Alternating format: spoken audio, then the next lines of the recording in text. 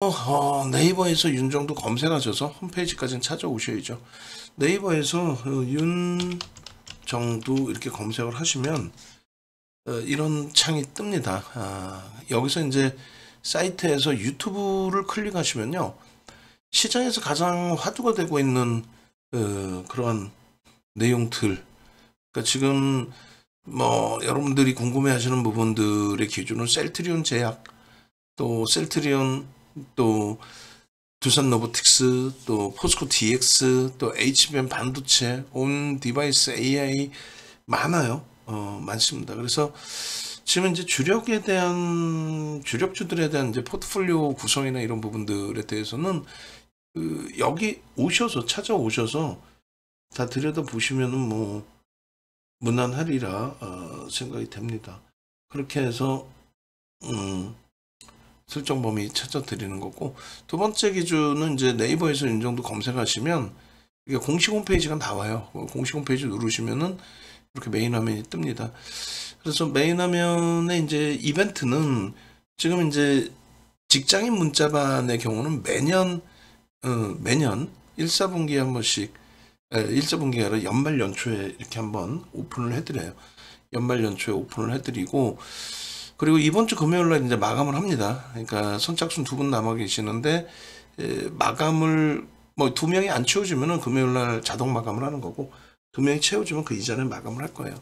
그리고 이제 에, 연초에 이렇게 가입하신 분들 문자반이든 VIP반이든 VVIP반이든 가입하시는 분들은 이 오른쪽 화면에 보시면 이제 프리미엄 교육 뭐 이렇게 돼 있어요. 어, 하반기 교육 이렇게 돼 있고 이 교육 자료들을 다 드려요. 어, VOD 동영상 교육 자료 교재까지 그렇게 해서 프리미엄 교육이 9시간짜리가 5강이 있는 거예요. 그러니까 뭐 벌써 9시간짜리 5강 있습니다. 그러면 놀래시고 다들 힘겨워하시고 야 이거 이렇게 생각하실 수 있는데 아니에요. 이거 다 공부하셔야 되는 거예요. 한강 한강. 어? 그 다섯 가지 강좌에도 또 이렇게 다섯 개로 또 나뉘어집니다. 그렇게 해서 이제 110만 원입니다. 해놨는데 여러분들 선배분들은 이걸 다 들으셨어요. 다 결제하고 다 들으신 그 교육입니다. 그래서 갭과 거래량부터 해서 쭉 있는데 이게 이제 네이버에 보시면 윤정도 검색하셔서 이 쇼핑이라고 있어요. 여기 누르면 지금도 쿠팡에서 판매가 되고 있습니다. 정가에. 근데 에, 연말 연초에 뭐 시장이 좀 어렵다 보니까 나도 공부하고 싶어요 하시는 분들이 꽤 많으세요. 그래서 어, 홈페이지에서 유료 이렇게 가입을 하시는 분들의 기준은 전체 교육 자료가 금액 기준으로 한 천만 원어치 넘어요. 문자만 가입하셔도 다 드릴 테니까 어, 교육 받으신다는데 뭐 자료 안 드리겠어요? 시간으로는 음, 가장 짧게 뭐 잘 압축해 놓은 부분에 변동성 매매 기준에서는 이 거래 대금에 대한 교육 7시간짜리 교육부터 해서 이것도 110만 원짜리 7시간짜리 교육 우리나라 하실 수 있는 분들이 거의 없죠. 음. 그렇게 해서 진행을 해드리니까 이 이벤트 꼭 혜택 받아 가시기 바랍니다. 그렇게 하시고 아 어제 가입할 걸 이 한숨 소리 지금 전화하세요. 지금 지금 바로 전화하세요. 지금 어? 12시 40분입니다. 지금 근데 뭐 12시 40분이든 1시 40분이든 2시 40분이든 애절한 거는 여러분들이 애절하신 거예요. 어? 이 담당자 누구는 전화를 받겠죠. 누군가는 뭐 못 받으면 아침 일찍 일어나서라도 전화 드리겠죠. 그렇게 해서 수익을 내시란 말이에요. 수익을. 응? 수익을.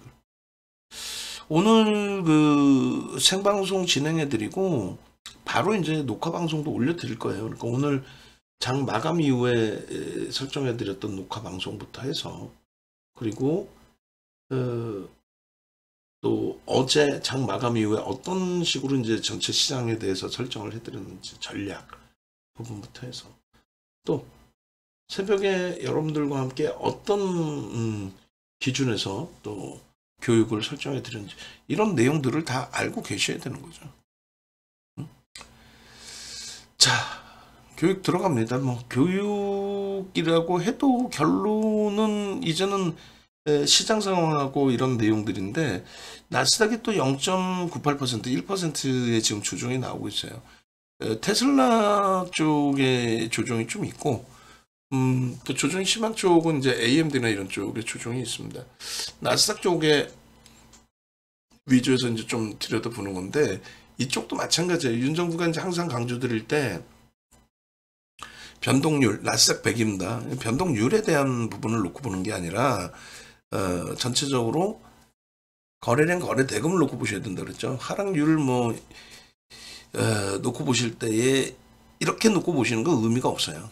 상승률의 기준에서도 어, 이렇게 놓고 보시는 건 의미가 없고 거래량 거래 대금 기준을 놓고 보셔야 돼요. 그래서 테슬라가 이제 거래량 부분이 가장 많은데 예, 테슬라의 조종 그다음에 AMD 쪽의 조종 이런 부분에 대한 좀 아쉬움이 있는 거죠.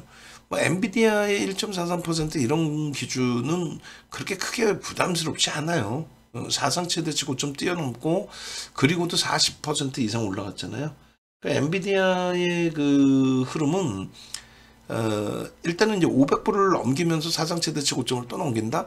그게 이제 그 미국 시장에서도 가장 강력한 음, 시세를 내고 있는 쪽.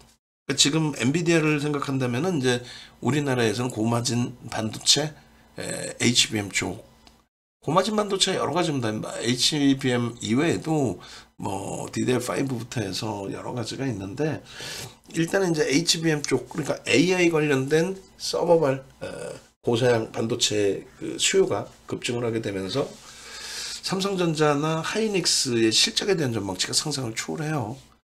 어, 이 내용들 뒷부분에 아주 자세히 주력주들에 대해서 또 설명을 드릴 겁니다. 방송에서 박수영재 TV 방송에서 윤 정부가 음, 변동성 매매 위주의 이제 뭐 셀트리온이라든가 이런 부분을 많이 설명을 드리다 보니까 어, 그 부분에만 국한돼 있다 이렇게 생각하실 수도 있는데 에, 그렇지 않아요. 어, 그렇지 않고 또 오늘 기준에서 이제 여러분들께 에, 문자 매매 쌓인 내역도 이제 좀 오픈을 해드렸잖아요. 그 VVIP 방에서 한번 드려도 볼까요? 어, VVIP 방에서 놓고 보시면은 뭐 전일 같은 경우에도 마찬가지고 오늘 같은 경우도 마찬가지인데 예를 들어서 이제 전일 기준에서 어, 놓고 보시면 3일 날 어, 3일 아 3일이면 이제 오늘이죠 오늘 오늘 기준인데 이제 문자 매매 사인 음, 보내드렸던 내역을 다시 올려드렸어요. 2일날 보내드렸던 거. 정확히 보시면은 이제 셀트리온의 23만 9천 원에 이탈시 23만 7천 원 이탈시 차익 실현 이렇게 문자 나갔습니다. 어, 22만 3천 원부터 10, 음, 18천 원 8%의 수익이 난 거예요. 시가총액 10위짜리 종목의 공식적인 부분에 네? 공식적인 부분에 그리고 이 부분은 이제 검색기에는 더 일찍 떴죠. 그리고 이제 재편입 기준을 22만 9천 원, 23만 1,500원에 설정을 한 거고 어, 실질적으로 이 흐름 보시면은 이제 2일 거래 첫 거래일 어, 2일 날의 기준에 이렇게 설정이 돼 있어요. 검색기가 나와라 오바 어, 이렇게 예. 셀트리온 엔캠 이렇게 나와 있죠. 21만 원 음? 그리고 또 셀트리온 레이크 머트리얼즈 뭐 이런 식으로 결론적으로 이제 셀트리온 VI 바로 어, 진입이 됐고 이때도 늦지 않았습니다. 편입 기준입니다. 500만 주 실릴 수 있습니다. 20분 만에 10%까지 들어 올렸어요. 20분 만에. 에, 이런 부분들에 대해서 이제 셀트리온 제약까지 같이 동반적으로 움직임이 나와준 거죠. 에, 결론은 이제 뭐 레이크 머트리얼즈 VI 들어가고 꼬리 달리면 차익 실현 범위 설정을 하고 또 이렇게 셀트리온 레이크 머트리얼즈 그 평가 손익 부분에 대한 수익 범위도 이렇게 올라오고 또 셀트리온입니다. LNF입니다. 뭐 셀트리온 제약입니다. 레이크 머트리얼즈입니다. 계속 그죠. 계속. 뭐가요? 셀트리온이. 또 셀트리온 제약이. 그래서 저 갭에 대한 설정 범위를 잡아드리면서 갭에 대한 목표 주가 25만 원 잡아드린 거예요. 21만 9,500원에 25만 원의 목표 주가를 설정해 드린 거예요. 대한 목표 주가를. 이 대한 목표 주가라는 거는 우리나라에 그 목표 주가를 설정할 수 있는 사람 자체가 아무도 없어요. 윤정도 이외에는 아무도 없어요. 그러니까 갭에 대한 목표치, 목표 주가를 설정할 수 있다. 이게 이제 금융투자협회에서 만들어 놓은 교재 내용인데, 그러니까 목표 주가를 설정할 수 있다 해놓고 목표 주가를 어떻게 설정하는지에 대한 교육은 없습니다. 앞서 말씀드린 것처럼 홈페이지에서 그 교육 음? 9시간짜리 교육도 받으실 수 있다라는 거예요. 그리고 아, 무료로는 안 해주나요? 무료도 있어요. 어, 보시면은 이제 공지사항에 보시면은 누르시잖아요. 누르시면 이제 공지사항에 보시면 요맨 밑에 부분에 보시면 이제 캔들 어, 미리 공부하는 거, 어? 또 갭에 대한 교육, 에코프로 현대로템. 이 에코프로 같은 경우에 이게 뭐 이렇게 누르면 이제 동영상이 아마 나올 텐데 이 동영상 교육 같은 경우에 이, 한번 봐보세요. 이, 이 내용들 뭐 이거 틀으면 이제 뭐 보시면은요 가장 최근 부분부터 해서 이제 뭐그 2년 전뭐 녹화본의 예, 크기가 굉장히 크게 예, 지금 우리가 이제 될 텐데 저기 뭐 이런 식으로 이제 그 에코프로 어, 이때가 꼬리를 7만 잡고 원대, 이제 7만 원. 올라오는데 결론은 여기서부터 얘를 20배 올랐죠. 이게 자율 작년 공시가 나오는 7월 14일자의 차트입니다. 기준에 그렇게 에코프로 해서 그 어, 에코프로 주봉 차트도 보여드리고 하면서 저기 왜 나냐 주봉과 일봉 보여드리면서 이제 대한 목표 주가 설정 범위나 그런 교육을 해드린 게 여기 다 들어가 있다라는 거예요. 거래별의 매매 법칙, 거래 대금 이게 어디라고요? 여러분들 그 채팅방에 예, 들어오시면 형성돼 있는 어? 공지사항에 나와 있는 내용입니다. 그래서 어, 지금 URL 그 복사해서 올려드릴 텐데 에, 비밀번호 묶어놨죠. 비밀번호 3333 어, 찾아 들어오세요. 오셔서 함께 하시고 그 다음에 지금 접속 인원이 이제 있으신데 어, 좋아요 한 번씩 눌러 주시고 응? 장이 좋든 안 좋든 또 지금 시간까지 그래도 여러분들 어? 교육해 드리려고 이렇게까지 진행을 해 드리고 있는데 그죠? 자, 그래 결론적으로 라이브 방송에서 이제 VVIP방에 이렇게 셀트리온입니다부터 해서 12월 8일부터 계속 올려드린 내용들 그리고 수급 범위가 지금 만만치가 않은데 저게 이제 기타 법인을 통한 어, 자사주 매입 부분이 포함된 거예요. 실질적으로 외국인과 기관들의 아주 순수한 그 매수 강도가 확장돼 있는 그런 흐름은 좀 많이 제한적이에요, 사실은. 예. 어찌됐든 그 개인들이 물량을 많이 뺏겼고 그 물량 뺏긴 것 대비해서의 매도 평균 단가 개인들의 매도 평균 단가 대비해서 이렇게 2008년도 도서 자료입니다 이게 음. 이미 벌써 2008년 도서 자료에 매수 평균 단가 대비해서 이 정도의 주가 음, 상승률이 나와줘야만 그래야만 어, 그들도 차익 실현할 수 있다. 그리고 이제 수급 논리에 의해서 매집이 되는 그 흐름 속에 이러한 어, 상승률이 자연스럽게 나오는 거죠. 센트리온의 그 개인들 매도 이외에도 그냥 외국 기관 음, 그 조그만 물량 산 것도 10월 24일 이후에 셀트리온의 순매수 순위가 12 정도에 놓여집니다. 뭐 굉장히 고무적인 거예요. 1위, 그 다음에 5위, 여기까지 5위입니다. 포스코 DX도 이제 낙폭이 심화돼 있었는데 결국은 재편입을 했잖아요. 그 이유가 뭡니까? 어, 저렇게 이제 그 엄청난 매집이 지금 형성돼 있기 때문이다. 이렇게 해석을 했습니다. 결론적으로 셀트리온이 여기 있어요. 근데 이 이제 125만 주, 126만 주뿐만 아니라 어찌됐건 개인들은 뭐 1억 4,600만 주짜리 종목인데 거의 뭐 4%에 가까운 그런 음, 매집이 형성되어 있는 음, 상황에 놓여져 있다 이렇게 해석을 하시면 됩니다. 결론적으로 이제 셀트리온은 12월 8일, 12월 11일, 12월 12일, 12월 28일 그리고 1월 2일까지 계속 이렇게 검색해 떴고 어, 매매 사인 나갔고 이 수익 범위가 장중에 8% 안에 15%까지 올라. 15%까지. 그리고 추가적으로 어, 셀트리온 제약 같은 경우에도 13% 결국 상한가 가죠. 상한가. 그러니까 포착되고 25% 올라온 거예요. 그런 그 내용들의 매매 사인 이렇게 형성되어 있는 게 다 매매 사인이에요.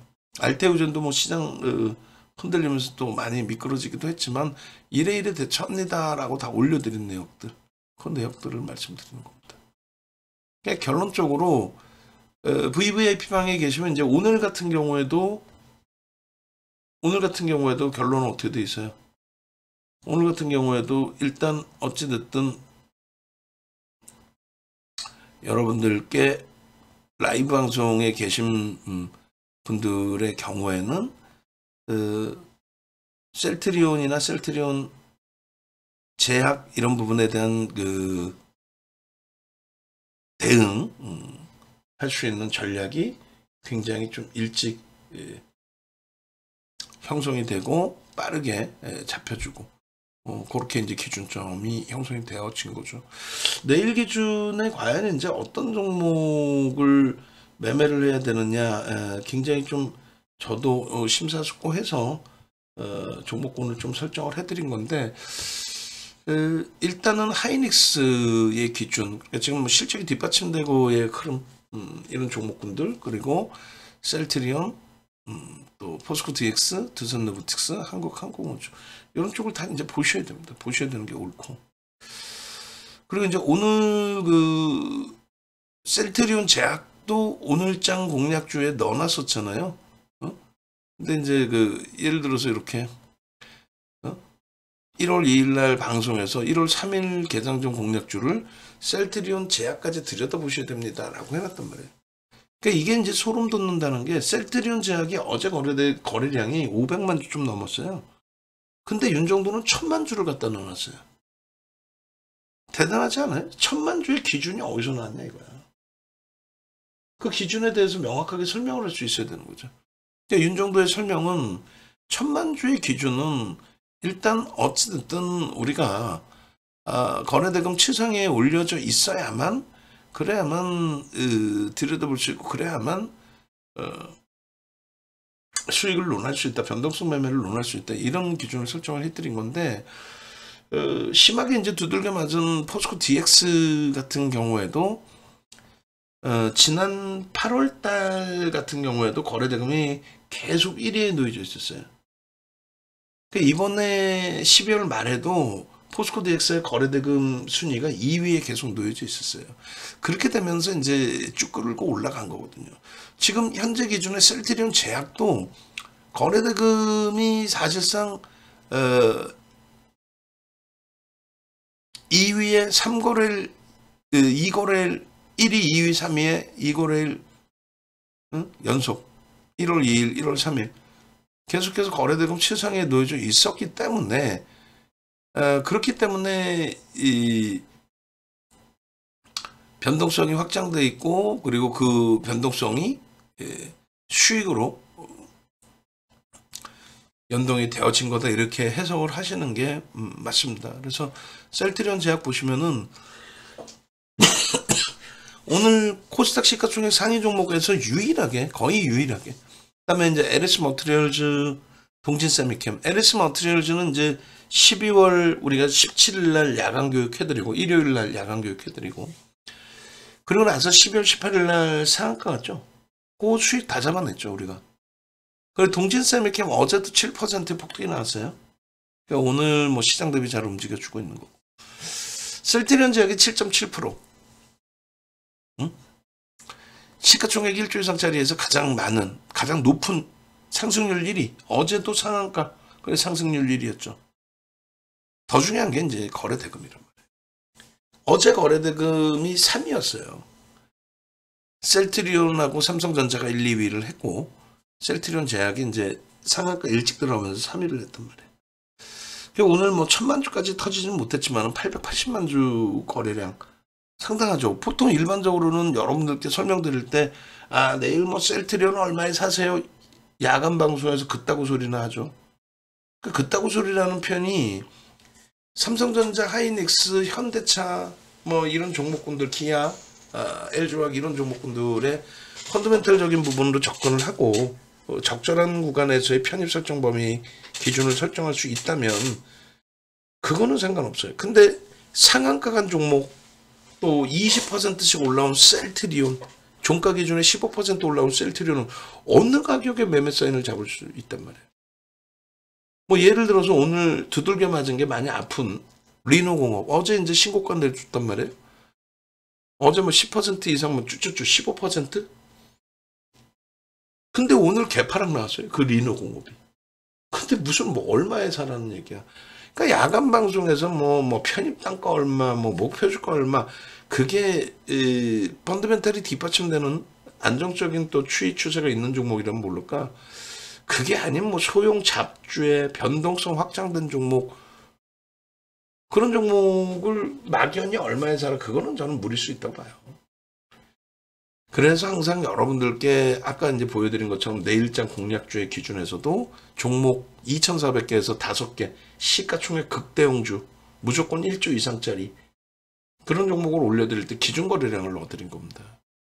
그 셀테리온 제약의 주식수 어, 3,960만 주? 예. 셀트리온이 1 1억 4,600만 주예요. 그러니까 여러분들께 뭔가 전략을 잡아드리려면은 펀드멘탈 외적인 요인을 봐야 되는 종목군들. 좀 펀드멘탈이 뒷받침되어 있지는 않잖아요, 셀트리온이. 또 셀트리온 제약이. 어떻게 이게 셀, 그, 펀드멘탈이 뒷받침됐다고 볼 수 있겠어요?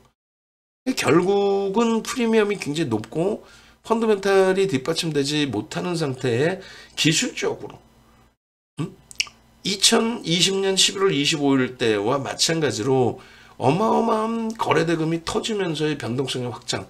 근데 이번에는 수급까지 좀 뒷받침돼 있단 말이에요. 결론은 어제 이제 500만 주대 거래량이 터진 종목에 대해서 오늘 880만 주, 그러니까 1000만 주가 터지지 않는 한 변동성의 확장이 나오기는 어렵습니다. 시초가 대비해서 최소 5에서 10% 등락 범위를 보려면 1000만 주 수준의 거래가 터져야 됩니다. 이 얘기를 했어요. 이게 9시간짜리 교육 중에 한 단락을 얘기하는 거예요. 그러니까 결론은 그 천만 주의 기준은 오늘 이제 880만 주 터지고 1조 1000억인데 어제 야간 교육해 드릴 때그 얘기를 한 거예요. 어? 거래대금 부분이 터져줘야 된다. 얼마나? 1조씩. 그래야만 이렇게, 그래야만 이렇게, 그래야만 이렇게, 그래야만 이렇게 거래대금 최상위에 놓여지면서 변동성의 확장이 형성될 수 있다. 그 말씀 드린 겁니다. 결론적으로 셀트리온은 이제 오늘 아쉽게도 거래가 500만 주 기준 거래량 잡아드렸는데 뭐 얼마 안 터졌거든요. 그죠? 그러면 그러면 그러면 어, 포스코 DX를 많이 두들겨 맞긴 했지만 들여다 보자라는 거예요. 포스코 DX 쪽의 진짜 변동성이 연말에 뭐 어마어마한 변동성 나왔잖아요. 그 뭐 와 엄청난 수익이다 막 행복해하고 막 그랬잖아요. 그죠? 뭐 어제 오늘 급격히 거래 대금이 축소되고 또 거래 대금이 둔화되면서 음? 그러면서 어, 주가가 눌림을 어, 눌림목이 나오고 못 움직이고 못 움직이는 정도가 아니라 좀 힘겹게 흘러갔고 다 좋아요. 그러면 셀, 어, 포스코 DX가 에, 진짜 엄청난 어, 부를 갖다 준 종목이거든요. 우리한테는 어? 문자 보시면 이거 보이세요? 어? 어? 웃고 있잖아요. 윤정두가 포스코 DX의 기준이 자 보세요. 포스코 ICT일 때 11,500원, 음? 11,150원, 11,330원, 11,550원에 4월 13일 날 이날이 목요일입니다. 요일도 안 잊어버려요. 왜? 우리가 집중적으로 공략을 해서 단기 5% 비중으로 들어가서 이거 목요일 날 들어가서 금요일 날 어, 비슷한 가격에 추가 편입하고 월요일 날 상한가, 화요일 날 추가 폭등 그래가지고 목요일 날 편입하고 금, 금, 월, 화 3일 만에 19,000원까지 갑니다. 19,000원까지 가요. 1억 5,200만 주짜리에 만 원이 넘겨져서 1조 이상이기 때문에 5% 비중을 드린 거예요. 안 그러면 매매세이 안 나가요. 1조 미만은 거의 나가질 않아요. 그렇게 해서 결국은 이때 기준에 이제 4월 그 18일 기준에 그러니까 4월 13일이 목요일, 14일이 금요일, 15, 16 토 일, 17일 날 상한가 좀더 뒤에 나옵니다. 18일 날 19,000원대 찍고 밀려요. 그게 밀리는 게 만원까지 내려옵니다. 잘 들으셔야 돼요. 그 고점 찍고 내려오는데 만원까지 내려오는데 무슨 얘기냐면 2차 전지의 기준도 펀드멘탈이 뒷받침되지 않아요. 소부장도 마찬가지입니다. 펀드멘탈이 뒷받침되지 않아요. 저평가가 아니란 말이에요. 그렇기 때문에 철저히 기술적으로만 본단 말이에요. 그러니까 고점 찍고 꼬리 달리고 음봉 떨어지면 전략 매도인 거야. 미련 같지 않고. 목표 주가가 15,000원인데 주가가 15,000원까지 왔어요. 그럼 뭐예요? 양봉이죠. 그 거기서 왜 팔아 바보 마냥. 목표 주가에 대한 의미는 없는 거예요. 목표 주가 무슨 의미가 있어요? 펀더멘탈적으로 저평가 상태에 가치 평가를 해서 목표 주가 설정하는 것도 그것도 그 정도 시세가 나온다는 건 기술적으로 강세를 띈다는 거거든요. 그럼 양봉인데 왜 팔아? 그러니까 목표 주가 15,000원이더라도 양봉이면 가져가는 거고 15,000원 근처에서라도 꼬리 달리고 음봉 떨어지면 차익 실현하는 거고. 음? 그렇게 기준을 잡는 거죠. 목표 주가는 그럼 상향이 되는 거예요. 그죠? 그리고 그 고점에서부터 얘가 끝내주는 업체요. 포스코 그룹주 끝내줘요. 어, 냅뒀더니 포스코 대박 났다. 이러면 안 돼. 끊어줄 때 끊어줘야 되는 거예요. 19,000원 갔던 애가 만원까지 내려와요. 지금에 와서 결론이 7만원대까지 왔다. 이렇게 잡으면 안 되고. 그렇게 따지면 에코프로 한 10년 갖고 가갖고 뭐, 박순혁이 그 정신 나간 친구 얘기처럼 무슨 뭐 10년 후에 뭐 700만원 갑니다. 1000만원 갑니다. 이 또라이인 거지, 그게. 예? 실적이 안 나오, 지금 현재 실적이 안 나오는 애잖아요. 또 거기다 지주사인데. 어찌됐든 기술적으로 정점이면 차익 실현을 해야 되는데 얘가 끝내주는 업체예요라고 펀드멘탈이 뒷받침되지 않은 종목을 세일즈를 하다 보면 정작 19,000원 고점에서 차익 실현 못 한단 말이야. 또 맨 마지막에 들어간 물량에 대해서는 손절도 해야 되는데 맨 마지막에 들어간 물량에 대해서 손절도 못 한단 말이야. 아, 그러면 어떻게 되냐고. 안 된다는 얘기야. 그래서 결론은요. 만천원에서부터 이제 조금 더 뒤에 보여드린다 그랬어요. 얘가 만구천원까지 찍고 내려와서 꼬리 달리고 결국은 다시 만원대까지 내려와. 그래서 재편입의 기준을 또 잡는 거예요. 응? 재편입의 기준을. 얼마에? 뭐 만사천원? 아니, 만천원대까지 내려온다니까. 좀더 검색해 보여드린다고. 그렇게 해서 6월부터 또 문자 사인 나가고 이게 7월 말에 얼마 갑니까? 이게 이게 7월 말에 5, 어, 4만 5천 원 가요. 7월 말 7월 26일 날이 최고점이죠. 그것도 보여드릴 거야. 4만 5천 원 찍어요. 그때는 2차 전지가 너나 할 것 없이 다 갔기 때문에 어? 얘를 대장으로 삼지 않았어요. 우리는 얘를 그냥 단기 5%인 거고 실질 비중 채우는 거는 포스코 퓨처엠 또 에코프로 그 두 개 종목이죠.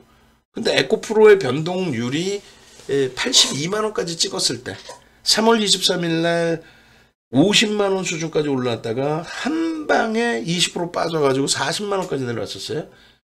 거기서부터 13거래일 만에 82만 원 따블이 납니다. 시가총액 13조짜리가 26조를 가요.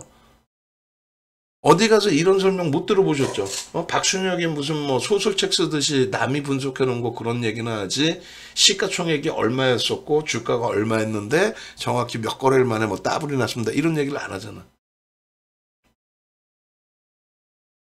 철저하게 기본적인 분석과 기술적인 분석을 병행하셔야 되는데 기본적인 분석은 뭐 제가 학자가 아닌 이상 또 반도체의 실질 생산 라인에서 설계를 하고 생산을 하는 그러한 전문 인력이 아닌 이상 남이 분석해 놓는 거에 대한 해석을 해야 되면 하면 되는 거고요. 그 이후의 기준은 기술적 분석을 통해서 지금 현재 기준에 이 종목이 재평가 작업이 형성되느냐 그래서 시세가 나올 수 있는 법이냐 이걸 놓고 보는 거예요. 포스코 DX가 어찌됐든 이 기준에서부터 4만 5천 원까지 올라오는데 뭐 얼마가 올라왔다 그게 중요한 게 아니라 2차 전지 대형주가 움직임을 가져가니까 얘도 움직임이 나온다. 그 얘기를 해드리는 거고 7월 26일 날 2차 전지는 모든 종목이 사상 최대치 고점을 다 찍습니다. 그리고 꺾여요. 이미 7월 24일 날 포스코 홀딩스가 4조 원의 거래대금을 터뜨리고 24% 올라갔다가 장중에 12% 밀려 내려옵니다. 그래서 그날을 정점으로 잡고 그날부터 차익 실현한 거예요. 우리는 포스코 홀딩스는 한 주도 없었지만 포스코 퓨처엠을 보통 때는 15% 넘겨야 오버슈팅으로 설정해서 차익 실현하는데 24일 7월 24일부터 53만 원부터 차익 실현 매도 사인을 드렸어요. 방 안에 계신 분들 최소 3분의 1 절반 이상이 그때 전량 차익 실현하고 그 다음 날부터 단기 변동성 매매 또 하고. 응? 그러고 나서 70만 원 갔어요. 하루 반나절 만에. 그러니까 24일 날 70, 53만 원 수준 종가로 끝나고 7월 25일 날 추가 한 10% 급등 나왔나요? 그리고 7월 26일 날 70만 원 수준까지 올라온 거예요. 7,700만 주짜리가 50조 수준, 50조를 넘겼네요. 어휴, 어마어마하죠. 결론은 이제 에, 그런 상태에서 26일 날 포스코 홀딩스가 8조, 에코프로 BM이 5조, 에코프로가 4조, 포스코 퓨처엠이 3조의 거래대금을 터트리고 꼬리 달리고 음봉 떨어지는데 그 8조라는 거래대금이 2021년 1월 11일 날 삼성전자가 8조 3천억 터트린 이후에 처음 터진 거예요. 삼성전자의 시가총액의 8분의 1짜리 포스코 홀딩스가. 아니 그리고 양봉이면 상관없다니까. 그리고 음봉으로 떨어졌잖아요. 꼬리 긴 꼬리 달리고 음봉. 그거는 공매도 때문에 밀린 게 아니야. 그 정신 나가. 배터리 그 나쁜 놈이지. 어? 나쁜 자식이 그냥 거짓말 해가지고 착한 일반 투자자분들을 현혹시킨 거 아니에요. 쥐가 터진 입으로 응? 금양부터 해서 주가 조작식에 어? 헛소리하고 다니면서 금양의 비이성적인 폭등랠리의 앞잡이가 돼서 그렇게 만들어 놓고 그러고 나서 고점에서 2차 전지 조정받을 때마다 50%씩 조정받을 때마다 수- 없어졌었어요. 응? 작년 그러니까 22년 10월 11일 고점 찍고 1월 달까지 50% 빠질 때 금양 박살 날 때 도망가서 없었잖아. 그러다가 2차 전지 다시 올라오니까 기어 나오고 그 다음에 또 에코프로 82만 원에서 50만 원 깨졌죠. 그때 또 없어졌잖아요. 공식적으로 나 은퇴할 거야 이 말 같지도 않은 그러고 나서 또 기어 나와서 이번에는 간이 배 밖으로 나온 거죠 이놈 새끼가 어? 선대인이라고 해서 압수수색 당했죠 이번에 개 하, 하여간에 결론적으로 그 못된 짓거리 하다가 마지막에는 어 이거 뭐 그냥 냅두니까 다시 돌리던데 그리고 나서 정신병자처럼 악을 쓰면서 어? 개인 투자자분들 현혹시키고 정점에서 밀려서 회복 기미가 없으니까 결국 거기다 대놓고 공매도 탓하고 이제는 정치한다고 떠들고 나쁜 놈 아니야. 그 OBS에 요즘에 나오죠. 어? 압수수색 당한 애를 무슨 방송국 그래도 지상파라는 OBS 그런 데서 출연시키면 되겠어요? 그 출연시켜놓고 지들도 시청률 때문에 출연시켜놓고 어? 아유 그 얘기하면 말 길어지니까 결론은 우리는 2차 전지를 7월 말에 싹 정리한 이유가 기술적으로 정점이다. 지금 코스닥이 거래되면 10조가 안 나와요. 그때 20조를 넘기던 거래되면 지금 10조가 안 나옵니다. 그때 하루에 에, 에코프로와 에코프로 BM 두 종목이 거래대금 10조를 형성했단 말이에요. 지금 전체 코스닥 시장이 10조가 안 나오는데. 그리고 꼬리 달고 운봉이라서 정리 기준이에요. 그런데 왜 그 얘기를 하냐면 우리나라의 2차 전지 종목 중에 7월 26일 정점 찍고 밀린 2차 전지가 단 한 종목도 그 고점을 넘긴 종목이 없어요. 포스코 DX 빼고는. 딱 하나 있죠. 에코프로 HN.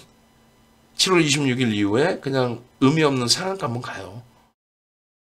그거 이외에는 아예 없어요. 두 번째. 2차 전지 종목군 중에서 공매대차 상한 빼고 실질적인 순매수 기준에 6% 매수한 종목은 포스코 DX뿐이 없어요. 그러니까 얘를 보시면 8월 22일 4만 5천 원 찍고 내려와서 이것도 좀 이따 방송하면 보여드릴 거예요. 3만 원부터 검색해 나와요. 근데 본격적으로 이제 문자 사인 나가고 한 기준에 3만 4천 원 그리고 5만 6천 원의 전략 차익 실현합니다. 그리고 6만 4천 8백원 찍고 이번에 다시 터져서 10월 이후에 수급 들어오고 12월 달에 3% 추가 편입 들어오고 그러니까 2차 전지 중에 두 가지의 기록을 갖고 있는 거예요. 사상 최대치 신고가를 내고 있는 애는 얘고 그 신고가를 낼 때 수급이 6% 들어와서 어, 끌어올린 건 얘입니다. 그러니까 얘는 윤정부가 설명할 때 2차 전지로 설명하지를 않아요. 지금까지 좀 설명 듣고 계시면 나 지금 컵에다가 물도 안 갖고 왔고 물 가지러 가야 되는데 물도 안 갖고 안 갖고 오고 있는데 유튜브에 좋아요 하나 눌러주시는 게 그렇게 힘들어? 응? 유튜브에 좋아요 좀 눌러 주시고. 의 결론은 이제 이 굉장히 중요한 교육을 잡아드리려고 좀 설정을 하는 건데 8월 31일 날 57,200원일 때 여기서 꺾이면 차익실현 하십시오 했는데 꺾였어요 장중에. 장중에 꺾여서 차익실현 했어요 우리는. 꺾였기 때문에. 종가가 예를 들면 20% 올랐는데 장중에 12% 빠졌어. 근데 종가가 16%로 끝났다고 대박 나셨죠? 윤정은 그렇게 말장난 안 해요. 고점에서 12% 밀렸는데 차익 실현해야지 그거를 계속 갖고 있던 것처럼 뻥을 치면 되나? 그러니까 우리는 여기서 정리를 한 거고 한 템포 있다가 64,800원을 찍고 고점을 형성하고 밀립니다. 이미 변동성 앞에서 이제 에, 윗방향성의 추이 강세가 아니라 휘청하고 무너진 거였죠.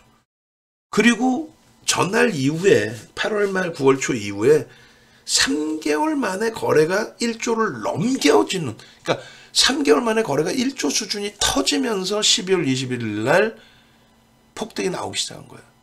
그때부터 공격적으로 또 들어간 겁니다. 그러니까 아까 보신 4월 13일 날 11,000원대 들어가서 19,000원 찍고 밀릴 때 전량책 실현. 아니 11,000원대 들어가면서 19,000원을 목표로 갖고 갔겠어요 처음에? 아니잖아. 근데 3거래일 만에 목요일날 들어갔는데 화요일날 월요일날 상한가 목요일 어, 화요일날 19,000원 찍고 꼬리 달려. 아 전량 차익 실현이지. 아 양봉인데 왜 팔아? 목표 주가 13,000원이었어? 아 13,000원 넘길 때 양봉인데 왜 파냐 이거예요. 근데 여러분들이 돈 내고 과금하고 듣고 있는 애들이 있잖아요. 걔네들 뭐라 그래? 목표 주가 15,000원이면 아, 아, 아, 일단 뭐, 뭐 일부 정리하시고요. 그리고 더 올라오면 대박 나셨죠? 그래요. 그러고 나서 또 이제 아 이거 어떻게 할까 그러면 아, 아 일부 정리하시고요. 아니 일부가 얼마큼이야. 윤정부처럼 명확하게 절반 50% 100%딱 두 번 차익 실현 끝 이렇게 가든가 일부 그 계속 올라가면 계속 대박 나셨죠. 그러다 훅 꺾이면 자 다 타셨죠. 아니 계속 올라가면은 뭐 주식을 맨날 일부 파서 해갖고 맨날 팔았는데 뭐 나중에는 한 줄을 찢어갖고 파나? 여기서 정확히 보시면 음?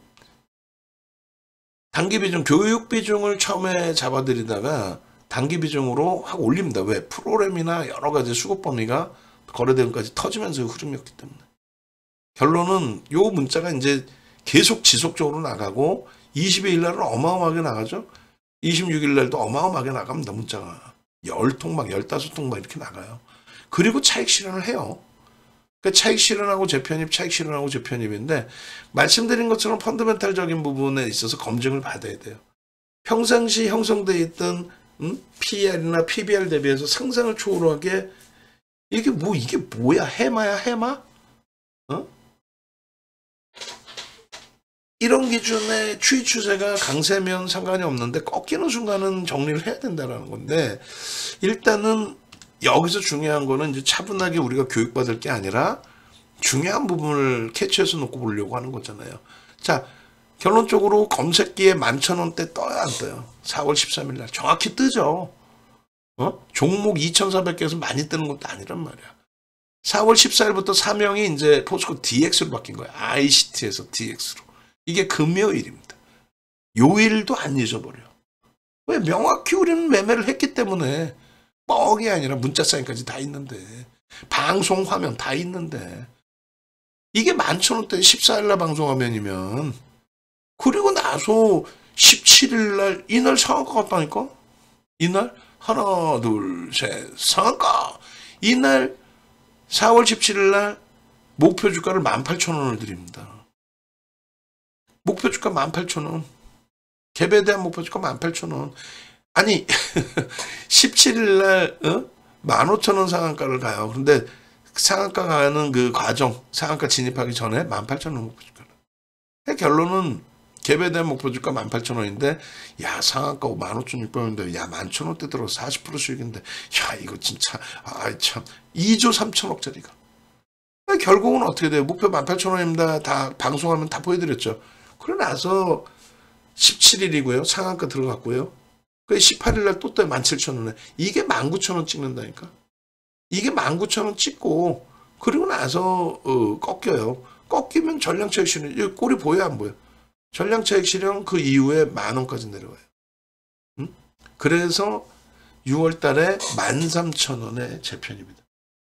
13,000원에. 어? 내일장 또 들여다 보십시오. 막 이렇게 계속.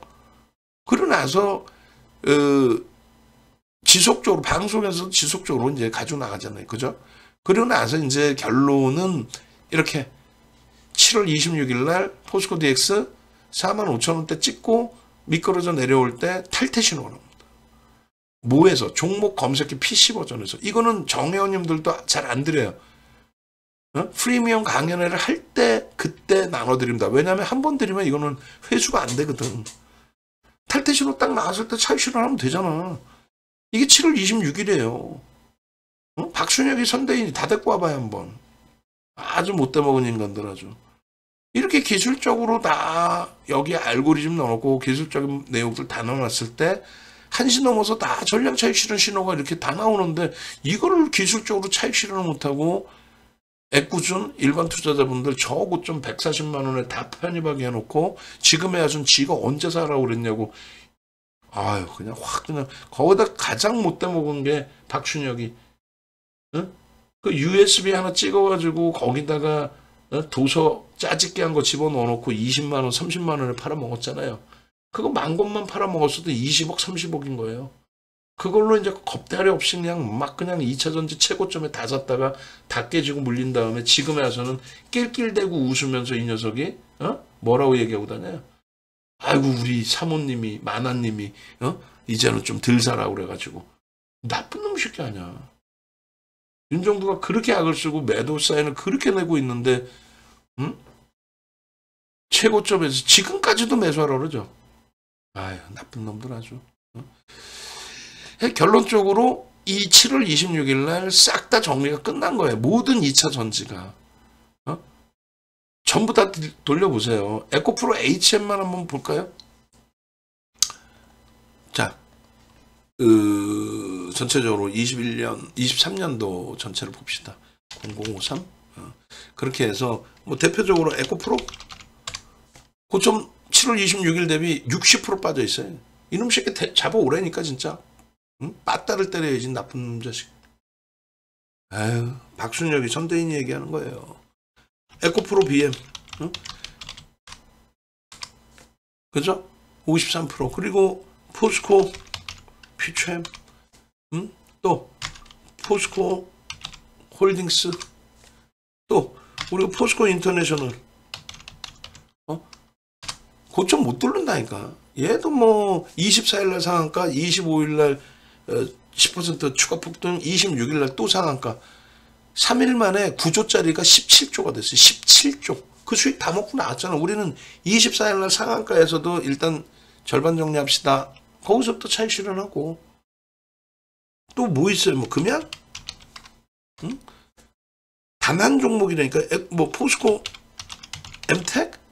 어? 택도 없는 소리.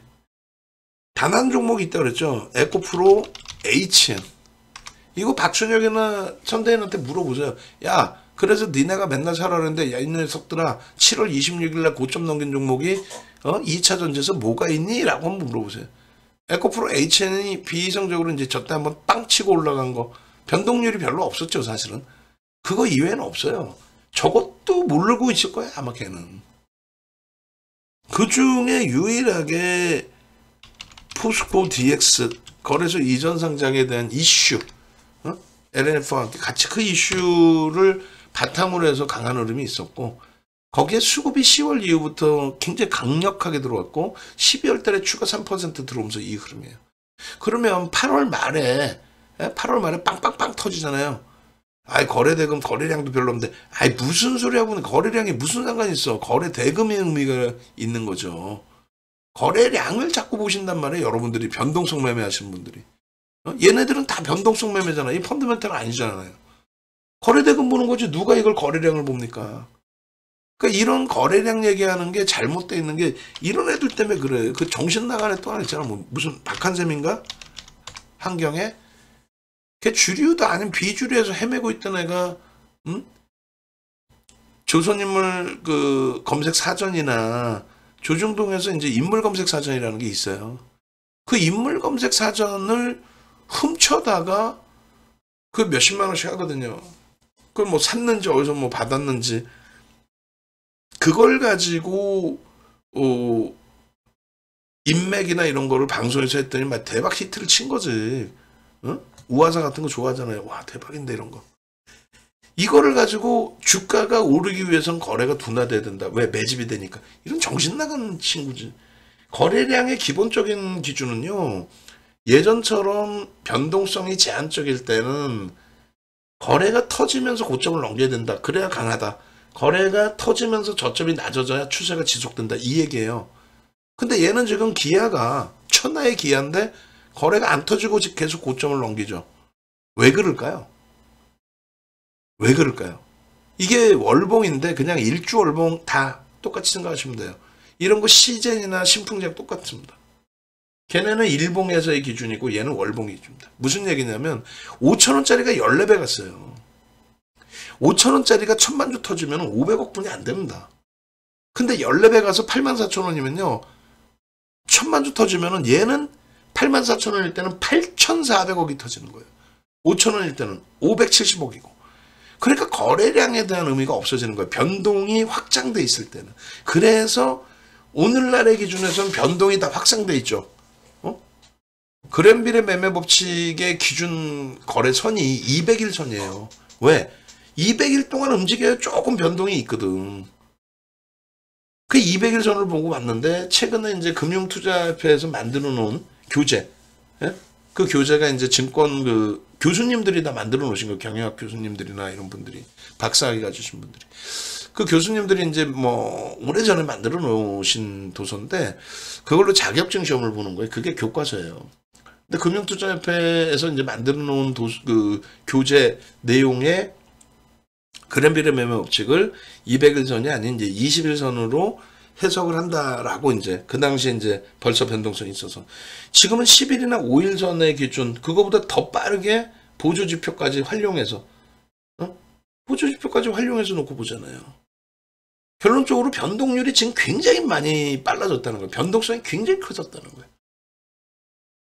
그래서 변동성이 커져 있는 종목 특히 이제 뭐 지금 뭐 셀트리온 제약도 마찬가지고 단기적으로 주가가 급등 에코프로 막 10배씩 올라왔잖아요. 14배. 그럼 에코프로 10만 원일 때 천만 주면 1조입니다. 10만 원일 때 응? 천만 주면 1조예요. 100만 주만 할까요? 10만 원일 때 100만 주면 천억 터진 거예요. 10만 원일 때 100만 주면 그 10만 원이라는 가격이 작년 1월 말일 종가가 어, 11만 9천 원이었어요. 11만 9천 원에 100만 주 터지면 1190억이잖아요. 근데 150만 원까지 올랐잖아. 153만 8천 원? 그럼 150만 원 곱하기 100만 주면 그러니까 아까 전에 10만 주로 잘못 얘기했는데 10만 원짜리 100만 주면 천억인데 10만 원짜리 100만 주면 천억인데 똑같은 100만 주가 아니잖아요. 150만 원까지 올라갔을 때 100만 주면은 1조 5천 억입니다. 1조 5천 억. 15배. 그래서 이런 기준에서는 거래 대금을 놓고 본다라고 얘기를 하는 거예요. 거래 대금을. 거래 대금이 터지지 않는 한 죽는 거예요. 셀트리온, 셀트리온 헬스케어 뭐 다 마찬가지. 셀트리온 제약까지도 어? 변동성이 셀트리온 제약이 더 크니까 제약으로도 볼까요? 자, 셀트리온 제약의 2020년 이후의 흐름. 변동성 확장되고 또 셀트리온이 시가총액 3위까지 올라가던 그 시점입니다. 거래대금이 빠지면서 죽는 거죠. 이게 주봉으로 보시면 더 눈에 확 띄어요. 이걸 지금 보는 이유가 어떤 종목에서든 에서든지 저 기준이 잡혀 있어야 되거든. 지금 급등이 나와서 고점 대비 38% 하락인 거죠. 얘가 14만 원이 깨졌단 말이야. 38만 원 수준에서. 얼마 깨진 거예요? 14만 원이면 절반이 아니라니까. 절반이면 18만 원이지. 60% 70% 깨진 거예요.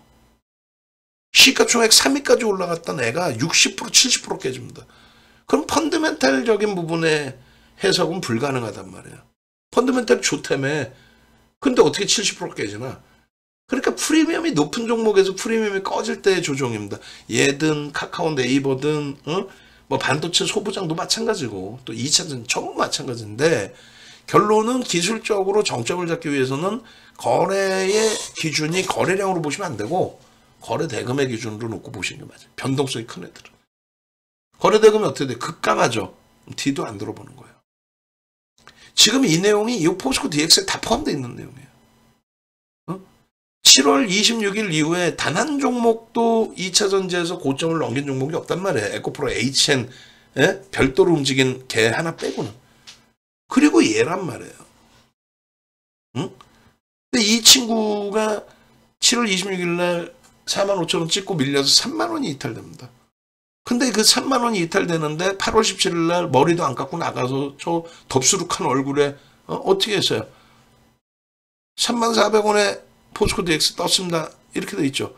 한미반도체 4만 9천 원. 얘 얼마 6만 원 돼 있어. 박순혁이 정신 나간에 한미반도체 고발당했죠. 고소당했단 말이야. 한미반도체는 이 가격 대비해서도 20% 올라와 있는 거고. 응? 2차 전지 에코프로는 지금 110만 원에서 반토막 나 있는 거고. 어찌됐든 포스코 DX는 별도 2차 전지가 아닌 별도의 기준으로 이렇게 3만 350원에 검색해 떴을 때부터 계속 매수의 신호를 잡아드린 거죠. 내일장 공략 줍니다. 응? 아, 2차 전지가 또 반등 나온다 싶으면 이렇게 뭐 에코프로도 넣을 수 있어요. 근데 기준 거래량을 맞추지를 못합니다. 하루에 거래대금 4조씩 터지던 애가 지금 거래대금 뭐 2, 2천억? 20분의 1 투막 난 애가 어떻게 시세가 나온다는 얘기야.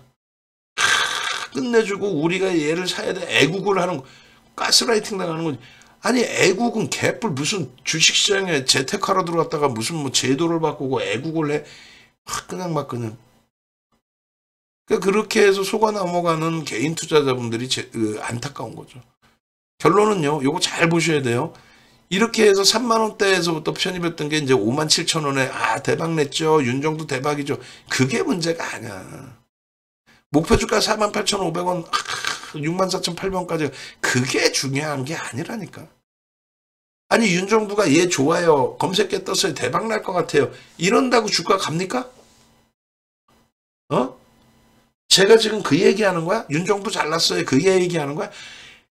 고기 잡는 법을 배우시는 얘기예요. 고기 잡는 법을 배우셔야 되는데 그게 뒤돌아서면 자꾸 까먹잖아. 왜? 여러분들의 분야가 아니니까. 윤정도 그럼 뭐 먹고 살아? 한 번 듣고 다 알면.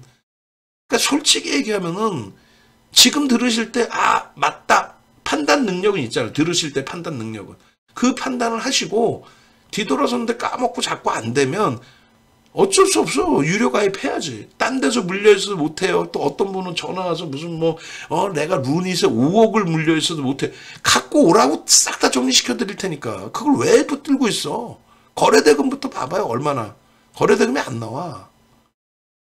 결론은 이 포스코 DX가 윤정두가 3만원에 검색에 떴습니다. 이거 계속 갈 거예요. 이게 아니란 얘기예요. 뭐 목표 주가 방송에서 더 올려드렸어요. 우린 여기서 차익 실현을 했습니다. 여기서 차익 실현한 건 맞아. 그죠? 57,500원에서 꺾여 내려올 때 15% 이상 들어 올리는 종목. 1조 이상짜리에서 15% 이상 들어 올리고 거기서 꺾여져 내려오면 차익 실현합니다. 그 기준이었단 말이에요. 그리고 오히려 더 갔다니까. 뭐 다이렉트로 막 날라간 건 아니지만은 5만 7천 원대 우린 차익 실현했고 6만 400원 목표주가 드렸는데 6만 4천 8백원 찍어요. 제일 중요한 건 뭐냐? 응? 몇 번을 설명드린 교육이에요. 제일 중요한 게 뭐냐 이거야. 지금 차트에 뭐 보여요 지금? 거래대금 보이죠? 어?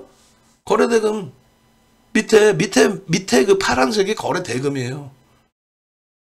고점을 넘길 때 거래 대금을 치고 넘겨야 돼. 어느 방송국에서 어떤 친구가 거래 대금 얘기를 합니까? 아무도 안 하죠.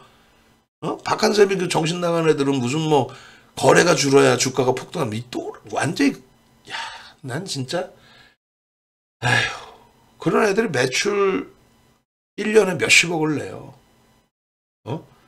잘못된 정보 가지고 이 바닥이 뭐 그래요. 뭐 20년 동안 그래 왔어. 20년 이상을. 월 화 목 금 이렇게 써놓은 기준이요. 거래대금 1위를 형성했던 날들의 기준입니다. 시가총액이 얘가 1위가 아니잖아요. 근데 거래대금이 1위가 나와 계속 이렇게. 장중 거래대금 1위. 예? 그러니까 저 양, 장대 양봉이 나오고 거래대금이 충분하게 실려지는 거예요. 주가가 단기간에 가파르게 올랐기 때문에. 얘기했잖아요. 4월 달에, 이 4월 달에, 4월 달에, 4월 13일부터 해서 18일까지 거래일수로 4거래일 만에 11,000원대 종목이 19,000원대까지. 그러니까 얘가 11,000원대란 말이에요. 그죠? 얘가 만원이란 말이에요. 근데 주가가 4배 올랐어. 거래량 똑같이 100만 주 터져도 주가 4배 올랐으니까 거래대금도 4배란 말이에요. 그래서 거래대금을 자꾸 보여드리는 건데, 자, 보십시오. 8월 25일입니다. 얘가 시가 총액이 1위는 아니잖아요. 에코프로가, 에코프로가 거래대금 7월 26일 날 얼마 터졌다 그랬어요? 4조 터졌다 그랬죠? 포스코홀딩스가요. 거래대금 얼마? 8조 터졌어요. 그런 애들이 거래대금 1조도 안 나와. 얘네가 움직일 수 있겠냐고. 이 당시 기준에 에코프로가 결과론적인 얘기가 아니에요. 이 당시 기준에 125만 7천 원인데 윤정도는 얘 별로 관심도 없어. 싹 다 정리가 끝이야. 작년에도 그렇게 2022년에도 갖고 왔는데 왜 4조 터진 애가 7천억이야? 포스코홀딩스 7월 26일 날 8조 터진 애가 5천억이야? 이게 어떻게 시세가 나오겠어요? 어? 거래대금 5조 터지던 애가 3,600억이야? 10분의 1 토막? 거래대금 3조 원대 터지던 애가 3,800억이야? 얘네가 어떻게 시세가 나오겠냐고. 그럼 얘는요, 거래대금 1인데 무슨, 아, 얘는 2위, 3위잖아요. 아이씨, 2위, 3위 할 때에도 얘가 지금 거래대금 8조씩 터졌다니까. 나올 수가 없는 거예요, 시세가. 응? 결론적으로, 포스코 DX가, 아, 뭐 8월 25일 날 1위 한번 했나 보다. 아니라고. 13% 올랐죠? 거래대금 1조 3천억인데 1조 3천억이면 뭐 상한가도 간단 말이에요. 44,400원이면은 7월 26일 고점 넘기는 그 위치란 말이에요. 그러고 나서 28일 날 어떻게 돼요? 고점 넘긴 거예요, 저게. 7월 26일 고점을. 8,580억 분이 안 되지만은 거래대금 1위입니다, 요즘. 거래대금 1위. 지금은 포스코 인터내셔널보다 주가가 높지 않나요? 밀려가지고 또 비슷해졌나? 어찌됐든. 28일도 거래대금 1위. 그리고 29일 거래대금 또 1위. 아, 이해되세요? 거래대금이 1위이니까 변동성이 나와. 에, 거래대금이 1위여도 0.1%인데, 그러니까 엄청난 기회였다는 거예요. 이건 대놓고 지도 가라는 얘기야. 거래대금만 그냥 뺑뺑이 돌려서 1인가? 아니에요. 수급의 손바뀜이 포함되어 있었단 말이에요. 그리고 30일 날 4위잖아요. 개장초, 개장초 1위였어요. 1위였는데 0.1%뿐이 못 움직여서 변동성이. 개장초 1위였는데 눌리면서 1.3%로 끝났는데 이때도 변동률이 안 났어요. 그리고 나서 거래되면 2위 터지면서 16% 오버슈트. 아우 소름 돋지 않아요? 아니, 농담이 아니라 다시 보실래요? 이거 엄청나게 중요한 얘기잖아. 이거 거래대금 다 써놨잖아. 거래대금 1위, 거래대금 1위, 거래대금 1위. 1인데 0.7%. 와, 좋다. 꽉꽉 눌러주고 손바뀜 잘 나오고 매집 잘 들어가고 있구나. 그러고 나서 8월 31일 날. 음? 아니, 레인보우 로보틱스는 무슨 뭐 그냥 가만히 있으면 상한가 가요? 얘도 오전에 상한가 문 닫았거든. 그 다음날요. 거래대금 1조 이상 터트린다니까? 이게 다이렉트로 이게 얼마에서 포착이 된 거예요? 11만 원대 12만 원에 포착된 12만 원에 8월 31일 날 12만 원을 포착되고 그러고 나서 상한가 가고 11만 원대 포착됐죠. 11만 원대. 그러고 나서 이 24만 원까지 다이렉트로 가요. 그때 거래대금 어떻게 어땠겠어? 어? 거래대금이 이렇게 돼 있었겠지. 이렇게 막 막 미친 듯이 터져 있었겠지. 지금의 셀트리온 셀트리온 제약처럼. 그 거래대금이 급감하는 순간 끝나는 거예요. 써 있잖아요. 거래대금 1위 25일, 28일, 29일 거래대금 1위, 1위, 1위, 1위. 장중 거래대금 1위에서 4위로 장중 거래대금 1위에서 2위로 오버슈팅 빵빵빵. 자, 거래대금 계속 터져야 됩니다. 거래대금, 거래대금, 거래대금. 근데 거래대금이 8월 31일 날 터지면서 윗골이 달리고 탈퇴시로 나와요. 우리는 일단 전량 차익 실현이죠. 아, 그 다음날 또 거래되면 터지면 되는데 안 터져. 안 터지고 12월 달로 넘어온 거야. 12월 21일. 종목 검색이 뜹니다. 그리고 거래되면 터지는데 뭐 56,300원에 떴을까봐 아니야. 53,500원에 신호가 나와요. 그리고 거래대금이 빵땅 터, 터져. 어? 22일 날 1,500만 주 거래대금 보십시오라고. 또 터져 또 나와 2.49% 61,700원 이게 얼마 79,600원 찍었나요? 요 흐름에 계속 매수사인 나가죠 왜? 거래대금 최상이니까 계속 나가는 거야 농담이 아니라 계속 거래대금 최상이니까 지금에 와서도 그 얘기를 한다니까 대표님 저 이런 종목 하나만 잡아주세요 아니 이런 종목 하나만이 아니라 내일 당장이라도 또 종목은 나와요 아, 저 종목 하나 수익 나면 가입할게요. 아니, 가입 안 해도 돼. 내가 그지인가? 내가 무슨 뭐 종목 장사하는 사람이에요? 아, 뭐 가입 좀 해주세요. 여러분들 수익 내시기 위해서 이렇게 무료로 알려드리면 무료로 대처가 되는 분들은 무료로 하시면 돼요. 응? 채팅방에 무료로 하시는 분들 많이 계세요. 근데 그게 원할지 못하신 분들, 또 수익도 극대화하고 싶으신 분들, 그 기준에서는 어떻게 돼? 뭐 과금하시고 유료화 하실 수밖에 그 방법밖에 없어.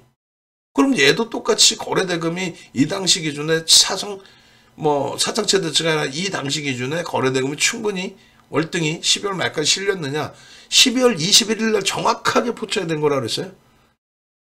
이것도 박스 쳐놨는데 또또 밖에 있네. 아 박스 쳐놓은 걸 내가 안 올려줬구나. 어찌됐건 거래대금 그냥 2위만 보시면 돼요. 거래대금 2위 포스코 DX입니다. 21일 날 뜬금없이 거래대금 2위 22일입니다.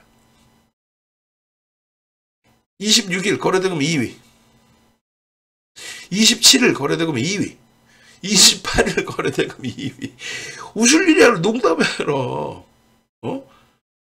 그리고 28일 날 고점 찍고 밀려놓을 전량 차익 실현 그리고 재편임의 기준 설정 그 1월 2일 날 거래대금 둔화돼 버리고 밀렸어요. 7만 600원에 정리하자라고 문자까지 발송을 했습니다. 근데 공식적으로 7만 600원, 7만 원에 정리하십시오 했는데 정리 안 되신 분들이 계실 수 있어서 오늘 기준을 또 잡아드렸어요. 6만 4천 원 이탈되면 정리하십시오. 응? 결론은요? 이탈돼 버렸어요. 그 7만 원에 어제 잘라내신 분들이 가장 그 현명하셨던 거고. 그리고 오늘 6만 4천 원에 정리했다가 되돌릴 때 편입 설정하신 그런 기준점들이 있으셔야만 이런 변동성 종목의 기준이 잡힙니다. 포스코 DX의 뭐 펀드멘탈이 저평가요? 아니죠. 기술적으로 놓고 볼 때 그러면 모멘텀이 있느냐? 있죠. 어떤 모멘텀? 거래소 이전 상장 일단은 1월 2일부로 이제 이전이 된 거고 MSCI 지수에 편입되는 부분 거기에 이제 수급 논리. 그 수급 논리 기준에 포스코 DX가 뭐 MSCI 지수에 편입되고 active 쪽에서 들어온다고 감안을 해도 거래대금 그저 외국기관 쌍끌이 순매수 금액 기준으로 이렇게 5위에 놓여져 있다 대단한 겁니다. 950만 주 1억 5,200만 주짜리에 980만 주면은 6%대 매수가 들었다는 거예요. 6%대. 적지 않아요. 어마어마, 어마어마한 매수. 쌍끌이잖아요. 거기에 연기금이 때려서요. 참, 희한해. 요즘에 우리가 좋아하는 종목은 다 연기금이잖아. 총선 앞두고 뭐, 음? 개인들이, 에, 개인들 우호적인 정책을 펼쳐주는 것인지 모르겠습니다만. 결론적으로 어때요? 잘 보셔야 돼요. 거래 대금에 대한 동그라미를 크게 이렇게 쳐드리고 있죠. 응? 그리고 수급이 개선돼야 됩니다. 수급은 뭐 미친 듯이 그때 이후로 들어오고 아니, 보세요 지금 이게 월봉이야. 앞전 고점 못 들고 있잖아요. 저 수급 들어와야 된다라고 분명히 동그라미 쳐놨죠. 거래 대금과 수급에. 맨 하단 부분의 선이 수급선이거든. 개인들 누적 수급. 어떻게 돼? 급격히 들어오고 고점도 못, 들- 못 넘기던 그 양봉이 쫙 뻗어 올라가고 응? 이게 12월 26일, 27일이야. 28일. 저 장대 양봉의 기준. 거래대금의 기준하고 이걸 다 보시라는 거예요. 1월 1일, 2일과 4일날, 3일날 거래대금이 좀 둔화되고의 흐름인데, 음? 지금 이제 결론을 내드리면 포스코 DX의 8월 말 기준과 뭐 1월 달 데이터도 끄집어내면 이제 갖고 올 수는 있는데 연속성이 제한적이니까 8월 말과 12월 21일부터 해서의 거래대금 내리 1위, 2위. 그렇기 때문에 변동률이 있다라는 거예요. 내일 당장에 어? 내일 당장에 셀트리온 제약이 어제 거래대금 3이었어요. 상한가 들어가서 문을 닫고 있는 바람에 그리고 1위, 2위가 삼성전자, 셀트리온. 삼성전자가 어마어마하다라는 게 지금 계속 거래를 터트리고 있어요. 응? 오늘 많이 미끄러졌지만은 미끄러지지 않더라도 거래대금 최상에 올라와 있어. 삼성전자 시가총액이 1위일 뿐이지 거래대금 1위는 아니에요. 거래대금 뭐 10위 안 10위 밖으로 미끄러지는, 미끄러지는 경우 거의 없지만 그렇다고 무조건 1위를 하거나 그러지는 않아요. 근데 최근 들어서는 최상위 1, 2, 3위에서 계속 왔다 갔다 해. 그러니까 추이 추세가 강한 거예요. 셀트리온 제약, 셀트리온 월요일 1월 2일, 1월 3일 거래가 수반되니까의 흐름인데 다만 셀트리온의 거래대금은 시가총액 10위짜리로 감안했을 때 저 정도 갖고 안 돼. 변동성이 나온다면 1조 이상 터져야 돼. 1조 이상. 그러려면 어떻게 돼야 되냐면 개장 초부터 거래가 수반돼 있어야 돼. 동시효과부터 거래가 시- 수반돼 있어야 되고 9시 10분 10시 그 사이에 거래대금 셀트리온 500만 주 기준 잡고 있으니까 150만 주가 10시 전에 터져야 돼. 그리고 양봉이어야 돼. 그래야 추세가 나가는 거야. 포스코 엠텍 첫, 아, 포스코 엠텍이 아니라 포스코 DX 천만 주씩 터져야 되지. 원래 1,500만 주 터져야 되거든. 그럼 지금 변동성 기준에 볼수 있는 부분은 누적 수급돼 있고 연기용 들어와 있는 포스코 DX, 두산 로보틱스 그리고 이미 터져 있는 셀트리온, 셀트리온 제약인데 셀트리온 제약이 지금 단기과일 지정 예고 이제 들어가 있으니까 하루 이제 쉬었다 가시고 그 다음에 에코프로 머티리얼즈, LS 머티리얼즈가 금요일 날 투자 경고가 풀려요. 그때까지 주가를 좀 눌러놔 주면은 투자 경고 풀리고 나서 쭉쭉쭉쭉쭉쭉 이 거래 대금에 대한 부분을 명확히 보시란 말이에요. 그렇게 하고 이렇게 검색기 기준도 보시는 거. 아시겠죠? 어차피 셀트리온 제약 방송에서 보시고 들어오신 거고 여러분들이 신규 들어오신 분들은 응? 셀트리온 셀즈 안 해도 여러분들이 저보다 더 많이 알고 계실 거고 결론은 그래서 이런 가격에 잡았냐 이거야. 1월 2일 날 95,500원에. 셀트리온 12월 8일 날 잡으셨냐 이거야. 12월 8일 날. 얼마에? 16만 4,500 아니 15만 원대. 계속 도죠 그리고 나서. 날짜별로. 1월 2일에도 마찬가지예요. 1월 2일에도. 21만 원 아니지 그 이하에서 떴죠 20만 3천 원. 응? 그래 나서 24만 천 원 찍은 거야. 시가총액 10위까지 올라오는 이런 종목이. 다시 보여드려요? 뭐가 그렇게 어려워요? 네이버에서 윤정도 검색하시고 유튜브 클릭해서 들어오시고 네이버에 검색하시면 유튜브 이렇게 다 나오니까 공식 홈페이지 유튜브 들어오시고. 또 윤정도 홈페이지 찾아오셔서 이벤트 진행해 드릴 때 음? 지금 설명 듣고 이제 아침에 눈 뜨면 또 다 잊어먹죠. 아 거래대금 실리면 되는구나. 아 어떻게 한다 그랬지? 다 잊어. 어, 잊어버리실 수밖에 없어. 본업에 충실하셔야 되니까.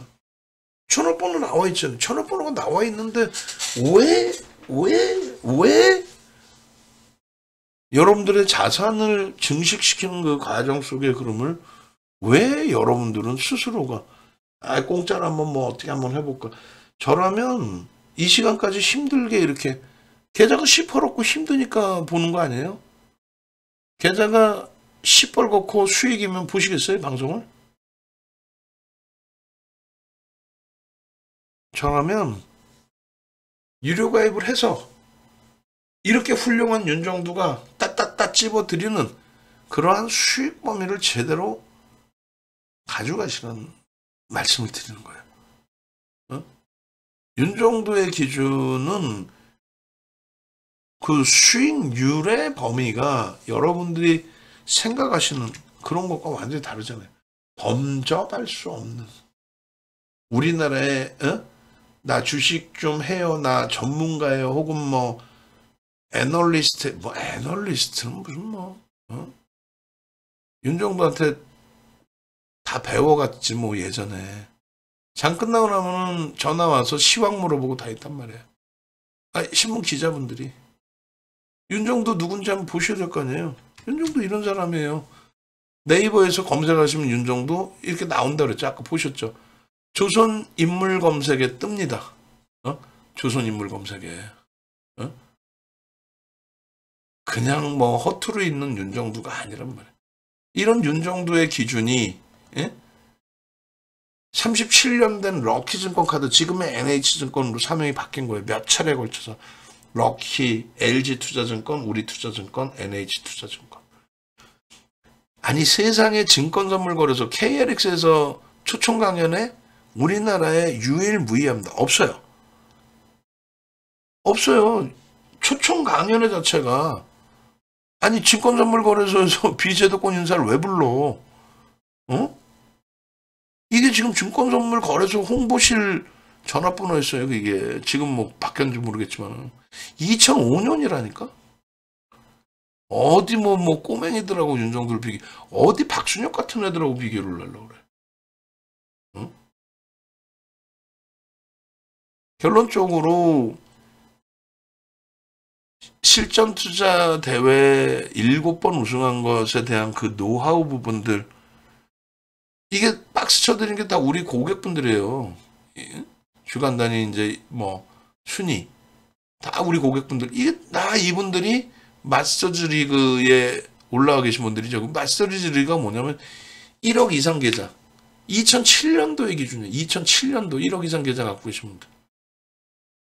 응? 마스터즈 리그의 그 순위. 결론은 300만 원짜리 계좌에 사실은 응? 만 프로가 넘으면 만 프로가 10주 만에 SBS, CNBC 방송에서 이게 누가 지금 요즘에 한용이 잘 나오고 있죠. 우리 회사 연구원이었죠. 이런 애들 한둘이 아니에요. 우리 회사 직원 출신이. 예? 한용이부터 해서 뭐 24시 클럽의 김지욱이부터 해서 박영호 대표부터 해서 어? 저기 반야저 누가 구현모부터 해서 김정혁이부터 해서 어? 그 빠박이 조용호부터 해서 9시 방송에 이슈 이런 어?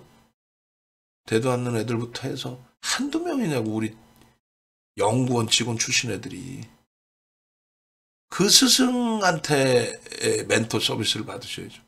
얘도 뭐 주식을 알아 뭘 알아. 이제는 이제 몇 년을 했으니까 그냥 겉핥기는 하죠. 어? 겉핥기는. TM만 200명씩 돌려 얘가. 그게 보이스피싱이지 그게. 못된 것만 배워가지고. 종목 보세요 이 사람들 이 종목. 어? 이런 종목 갖고 되겠어? 윤정도의 종목하고는 질이 다르잖아요. 윤정도의 종목하고는 하나케미칼 현대중공업하고 있는데 이런 개잡주 가지고 지금까지도 전문가라고 어? 이 당시 어? 이 당시에 시청자분들이나 가입 고객들은 윤정두와 함께 현대중공업이나 하나케미칼 이런 NC소프트 보셨던 분들은 지금도 살아남아 계시지만은 이런 개잡주 보고 이거 어떻게 하려는 얘기야 이거 다 깡통이지. 근데 얘네들은 남아 있잖아 지금 시장에 전문가랍시고.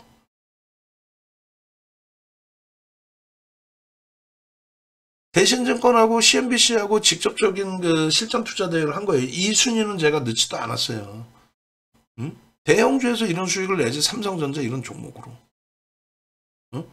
이게 2020, 2015년도 MTN, LG화학, 삼성전자, 엔소프트, 삼성전기, 삼성성명 이 이런 게 실질 수익이 아니에요? 이게 실질 수익이잖아. 어디 소형 잡주들 어디서 듣도 보도 못하고 말고 이게 다 1조 이상짜리 1조 이상짜리에서의 수익 1조 이상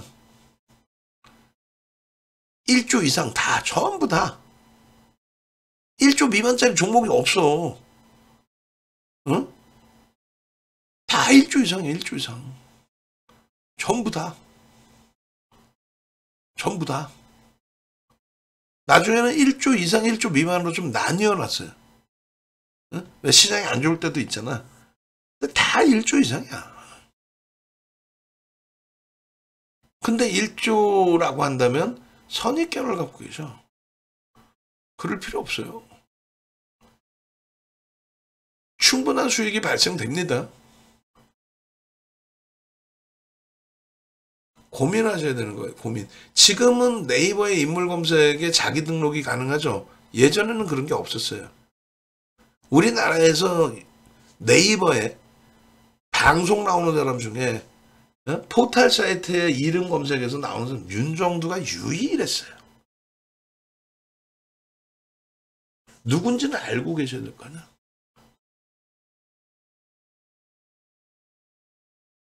미국장의 지금의 흐름이 눌림목이 나와 있다 할지라도 걱정 마십시오. 그 부분에 대한 교육도 충분히 받으셔야 돼요.